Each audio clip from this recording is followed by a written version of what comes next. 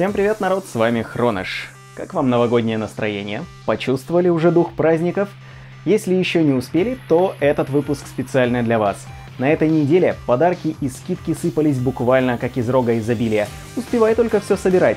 Если вы боитесь, что что-то могли упустить, то слушайте дальше внимательно. Мы любим высказывать разработчикам свое мнение насчет их творений – Теперь же разработчики Overwatch решили сами поделиться с нами своими впечатлениями касательно 2016 раскрыть некоторые планы на 2017, а также просто поздравить всех с праздниками. В новом видео Джефф Каплан делится впечатлениями разработчиков от введения Анны и Сомбры, изменений в рейтинговых сезонах и сезонных событиях. Он обещает еще больше неожиданных ивентов в 2017 году. В новом году нас ждут улучшения и расширение интерфейса игры, например, возможность выбирать для каждого героя несколько реплик и граффити. Также в разработке находится несколько новых героев, карт и режимов игры. Более подробно с планами разработчиков вы сможете ознакомиться на официальном канале игры. Если вы уже давно заинтересовались Overwatch, но все не решались его приобрести, то сейчас самое время, ведь на праздники Blizzard решили сделать неплохие скидки.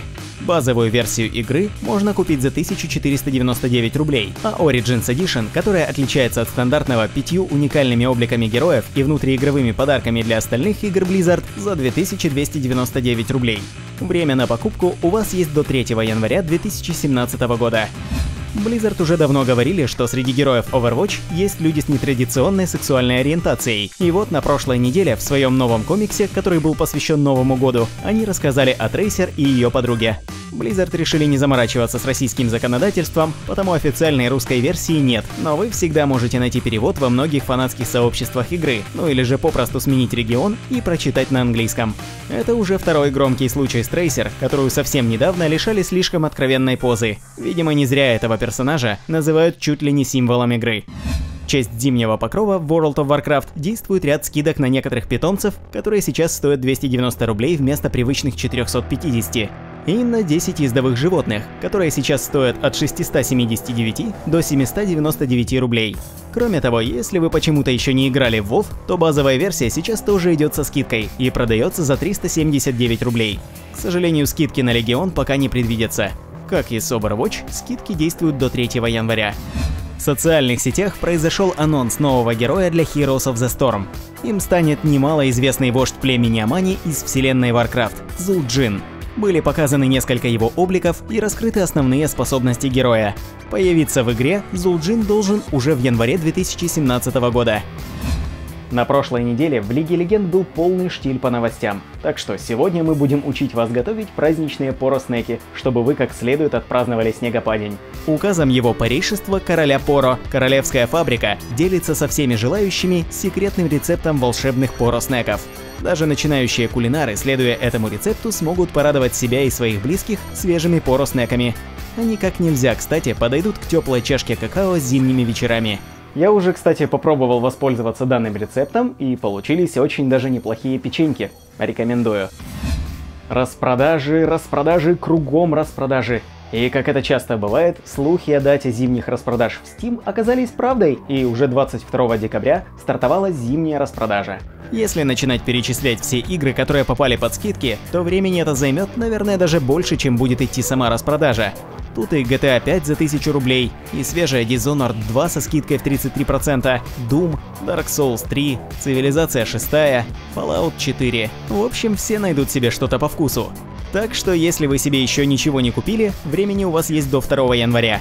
Вместе со скидками стартовало и голосование за игры года по версии Steam. Вам предлагается выбрать среди пяти кандидатов категории, за что вы получите соответствующую карточку. Каждый день категория меняется.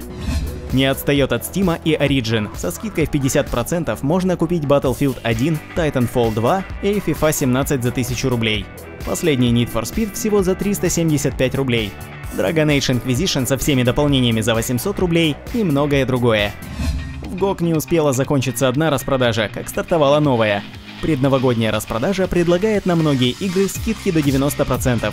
Самым же интересным предложением по версии GOG является бандл из Stardew Valley, Darkest Dungeon, Shadow Tactics Blade and Shogun, Ведьмак 3 Game of the Year Edition, Grim Dawn, Owl Boy, Inside, Starbound, Abduction и Day of the Tentacle Remastered. Все это с общей скидкой в 33%. Конечно же, эти игры вы можете приобрести и по отдельности.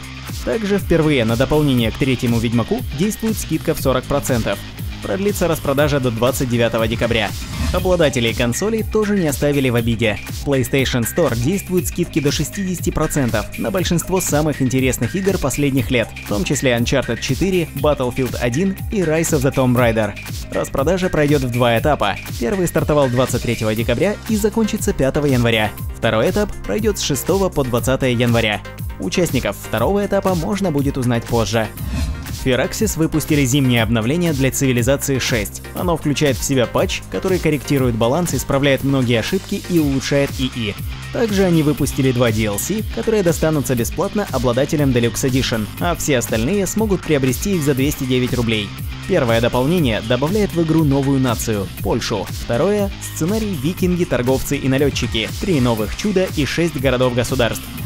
После демки Нир Automata фанаты японских игр получили еще один подарок. С 22 декабря все обладатели PlayStation 4 могут поиграть в демо-версию Gravity Rush 2.